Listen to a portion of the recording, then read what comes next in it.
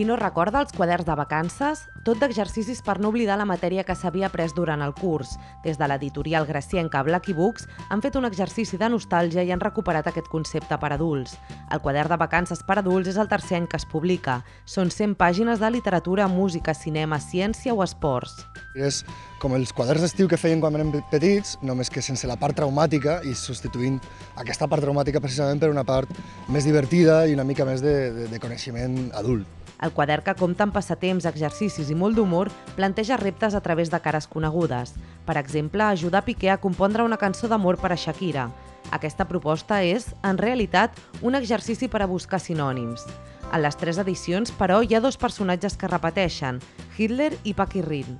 Ens agrada barrejar coses que siguen com de cultura molt alta, rotllo Holderlin, Shakespeare, coses així, amb coses una mica més, més, més planes, i Paquirrin, per exemple, és un personatge que ens agrada molt perquè ens ajuda a introduir exercicis.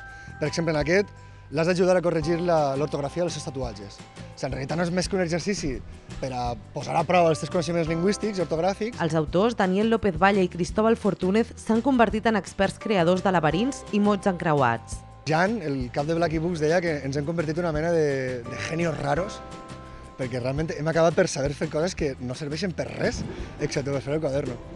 Aquest any toca respondre a un test de pel·lícules dels 80, trobar les diferències de la sèrie True Detective o rebre un càstig a l'infern de Dante, més de 150 exercicis que tornaran a fer de l'estiu una aventura d'aprenentatge.